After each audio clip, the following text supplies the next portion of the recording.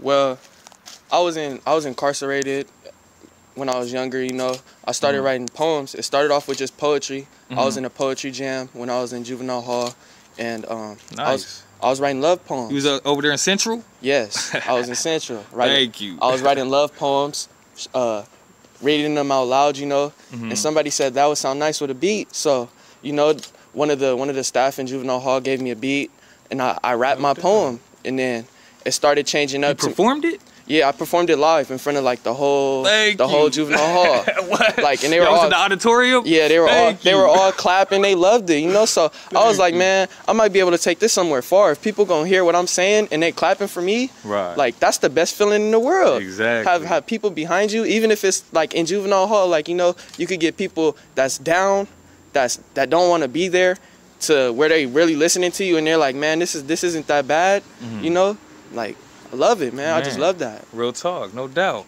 So, I gotta say, I, I, I like that. I respect that. You know what I mean? Thank you. Because you know, I actually got my start. I mean, I've always been a writer, but you know, in juvenile hall is really is really when I started taking it serious. You know what I mean? In Central. You know what I mean? me So, too. you know, I could definitely relate to that. You know what I mean? So you performed in front of the whole the whole you know institution. You know what I'm Yeah. saying? And uh, so where they had you as a GH or something? Or, I was know? in I was in Eminem. I was in like Okay. a, the oldest unit. You know, that's the oldest unit you could be in. Right. I was right there.